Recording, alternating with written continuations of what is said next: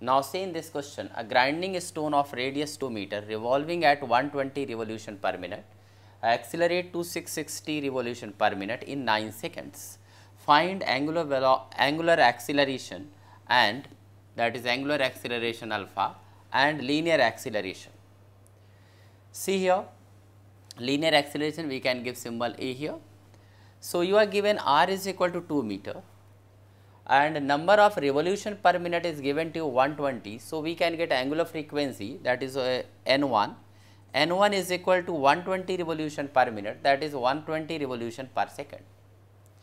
Similarly, n2 we can get 660 revolution per minute. So, 660 divided by 60 that is 11 revolution per second.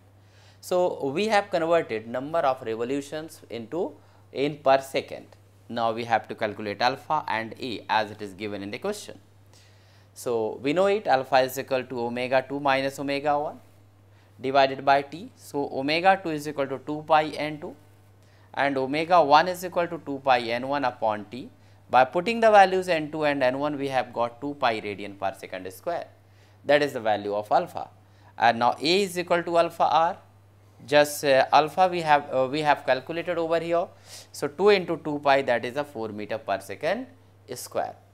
So, here you can calculate easily the angular linear acceleration and angular acceleration, but take care for one this formula that is omega is equal to we know it omega is equal to here we written 2 pi n where n is here the number of revolutions per second.